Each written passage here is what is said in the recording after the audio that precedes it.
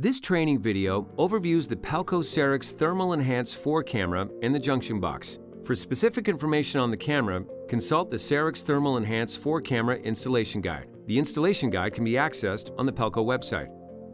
Let's take a closer look at the junction box.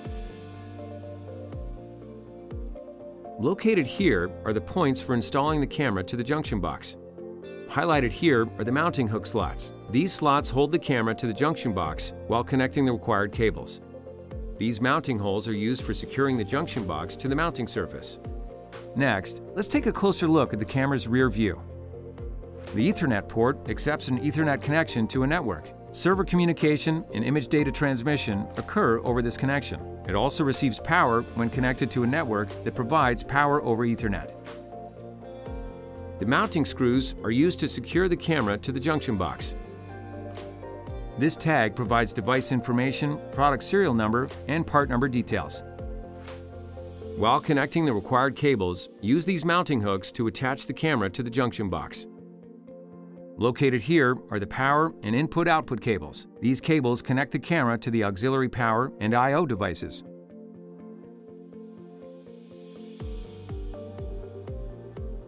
Highlighted here is the configuration panel cover. Remove the cover to access the SD card slot, the micro USB port, and the link and connection status LED indicators. The card slot accepts an SD card for onboard storage. The amber link LED indicates if there is an active connection in the Ethernet port. The green connection status LED provides information about the device's operation. For more information on this topic, consult the appropriate training video. Shown here is the micro USB port, which accepts a micro USB to USB adapter. This port is only required when using the USB Wi-Fi adapter. Next, let's take a closer look at the camera's side view.